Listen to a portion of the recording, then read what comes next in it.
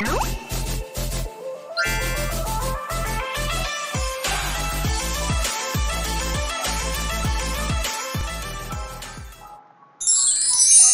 ดีค่ะนักเรียนทุกคน Hello everyone กลับมาพบกับรายวิชาภาษาอังกฤษในระดับชั้นประถมศึกษาปีที่ 6 กันอีกครั้งค่ะ นักเรียนเป็นยังไงกันบ้างคะ สบายดีกันไหมคะ ได้อ่านหนังสือทบทวนบทเรียนทำกันบ้านกันเรียบร้อยหรือยังคะสำหรับเนื้อหาในวันนี้นะคะ เราจะมาทำความเข้าใจเกี่ยวกับข้อความนะคะ หรือว่าเนื้อหาที่เกี่ยวข้องกับเอริกคลาร์กนะคะ เนื้อหาที่เราจะเรียนกันในวันนี้ยังอยู่ใน unit ที่ 1 นะคะ ชื่อของ unit ที่ 1 ก็คือ what do you want to be what do you want to be แต่โดยปกติแล้วเราเรียนกันในหนังสือเรียนใช่ไหมคะ แต่วันนี้ค่ะ ครูจะให้นักเรียนเรียนกันในหนังสือแบบฝึกหัดนะคะ ฉะนั้นนักเรียนตอนนี้เตรียมหนังสือแบบฝึกหัดขึ้นมาเลยค่ะ เอาหนังสือแบบฝึกหัดมานะ เปิดไปที่หน้าที่ 11 ค่ะ เปิดไปที่หน้าที่ 11 นะคะ exercise ที่ 7 ค่ะ exercise ที่ 7 นะคะ จะเป็นเรื่องราวที่เราจะมาทำความเข้าใจกันนะคะ เป็นเรื่องของเอริกคลาร์กนะคะ เอริกคลาร์กโจทย์บอกว่า read the text about Eric Clark then answer the questions นะคะให้นักเรียนอ่านข้อความที่เกี่ยวข้องกับเอริกคลาร์กนะคะหลังจากนั้นก็ตอบคำถามนะคะ พร้อมกันหรือยังคะเด็กๆ เดี๋ยวครูจะอ่าน text ของเอริกคลาร์กให้นักเรียนฟังนะคะ แล้วเรามาทำความเข้าใจกันนะว่าเนื้อหาเนี่ยเกี่ยวอะไรบ้างนะคะ เกี่ยวกับเรื่องอะไรบ้างของเอริกคลาร์กนะ พร้อมกันหรือยังคะ เปิดหนังสือแบบฝึกหัดแล้วนะทุกคน เดี๋ยวครูจะอ่านให้ฟังทีละประโยคนะคะ นักเรียนตั้งใจฟังครูด้วยนะคะ This is a picture of my best friend,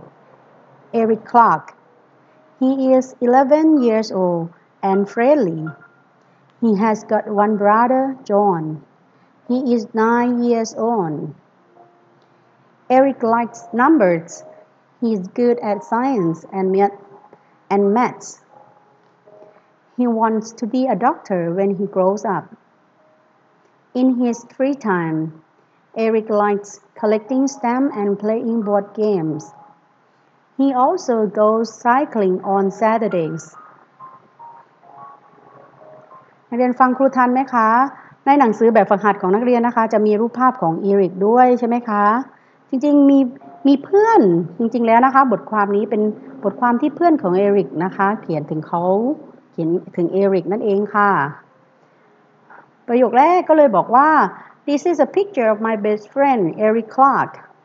นี่คือรูปภาพของเพื่อนที่ดีที่สุดของฉัน เขาชื่อ Eric Clark นะคะ He is 11 years old and friendly Eric อายุเท่าไหร่คะ 11 years old Eric อายุ 11 ปีนะคะ และ friendly ก็คือเป็นมิตรนะคะ เป็นมิตรกับทุกคนเลยนะคะ เป็นคน friendly มีเพื่อนเยอะนะคะ He has got one brother John Eric มีน้องชายหนึ่งคนนะคะ ชื่อจอห์นทำไมถึงรู้ว่าเป็นน้องชายคะ เพราะว่าจอห์นเนี่ย nine years old เพราะว่าจอห์นเนี่ยอายุแค่ 9 ปีนะคะ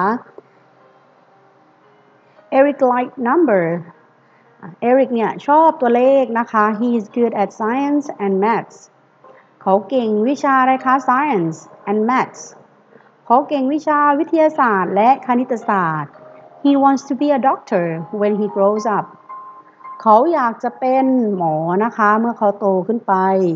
In his free time ในเวลาว่างของเขานะคะ free time เวลาว่าง จริงๆคำว่า free time คล้ายๆกับคำว่า hobbies นะคะ hobbies ก็คืองานอดิเรกที่ใช้ทำในเวลาว่างนั่นเองค่ะ Eric likes collecting stamps and playing board game Eric อะชอบ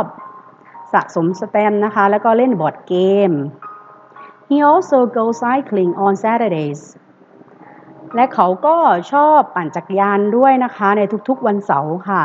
คำว่า Saturday เติม s นะคะคำสุดท้าย แปลว่าทุกๆวันเสาร์นะคะ หลังจากที่เราทำความเข้าใจนะคะ แล้วก็เกี่ยวกับเนื้อหาของเอริกคลาร์กแล้ว เดี๋ยวนี้ เดี๋ยวทีนี้เรามาตอบคำถามกันนะคะ ซึ่งคำถามมีทั้งหมด 6 ข้อค่ะ ครูให้นักเรียน ตอบคำถามแบบสั้นๆนะคะ เขียนด้วยดินสอนะคะเด็กๆ เดี๋ยวเรามาดูกันทีละข้อค่ะ ข้อที่ 1 นะคะ How old is Eric Clark How old นะคะ ถามถึงอายุของเอริกใช่ไหมคะนักเรียนก็ตอบลงไปเลยนะคะว่าเอริกเนี่ยอายุเท่าไหร่นะคะ ต่อไปข้อที่2ค่ะ is he friendly เขาเป็นคน friendly ไหมนะคะ เขาเป็นมิตรกับทุกคนไหมนะคะ มนุษย์สัมพันธ์ดีไหม ถ้าเขาเป็นคนมนุษย์สัมพันธ์ดีนะคะ ให้นักเรียนตอบว่า yes he is แต่ถ้าไม่ใช่นะคะ ให้ตอบว่า no he isn't มีสองคำตอบนะคะ yes he is หรือว่า no he isn't ต่อไปข้อที่ 3 ค่ะ what does he like เขาชอบอะไรนะคะ เมื่อกี้ครูบอกไปแล้วนะคะ ในข้อความของเอริกเนี่ย ตอบไปแล้วว่าเขาชอบอะไรนะคะ นักเรียนก็ตอบไปเลย he likes อะไรก็ว่าไป นักเรียนอ่านในบทความนะคะ จะมีคำตอบอยู่แล้วค่ะ ต่อไปข้อที่ 4 ค่ะ what is he good at good ในที่นี้หมายถึงเก่งนะคะ เขาเก่งวิชาอะไรคะ เขาเก่งวิชาอะไร นักเรียนตอบลงไปเลยนะคะ ต่อไปข้อที่ 5 ค่ะ what are his hobbies hobbies กิจกรรมยามว่างนะคะ งานอดิเรกของเขา เขาทำอะไรคะ ต่อไปข้อสุดท้ายค่ะ what does he want to be when he grows up เขาอยากจะเป็นอะไรนะคะ ในอนาคตเมื่อโตขึ้นไป นักเรียนเขียนคำตอบลงไปได้เลยนะคะ เขียนคำตอบด้วยดินสอนะคะเด็กๆ และนี่คือการบ้านของนักเรียนนะคะ ย้ำอีกครั้งค่ะ การบ้านของนักเรียนอยู่ในหนังสือแบบฝึกหัดนะคะ หน้าที่ 11 ข้อที่ 7 ค่ะ นักเรียนอ่านเนื้อความเนื้อหาของเอริกคลาร์กกันไปแล้วใช่ไหมคะ พร้อมๆกับครูไปเมื่อตะกี้ ให้นักเรียนตอบคำถามทั้ง 6 ข้อย่อยนะคะ ลงไปในหนังสือแบบฝึกหัดเลยนะ ให้นักเรียนเขียนด้วยดินสอนะคะเด็กๆ หลังจากนั้นส่งการบ้านไปในรายกลุ่มของเรานะคะหรือว่าใครยังไม่ได้เข้ารายกลุ่มเนี่ย ส่งมาในรายส่วนตัวของผู้ได้เลยค่ะหรือว่าหากมีข้อสงสัยในรายวิชาภาษาอังกฤษชั้นป .6 เนี่ย สอบถามมาได้เลยนะคะ ในรายกลุ่มของเราหรือว่ารายส่วนตัวของผู้ก็ได้ค่ะ หลังจากที่เรา